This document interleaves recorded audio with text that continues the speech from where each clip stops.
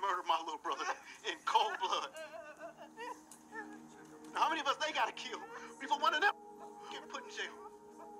My brother didn't have no gun. Tell the truth. As you can.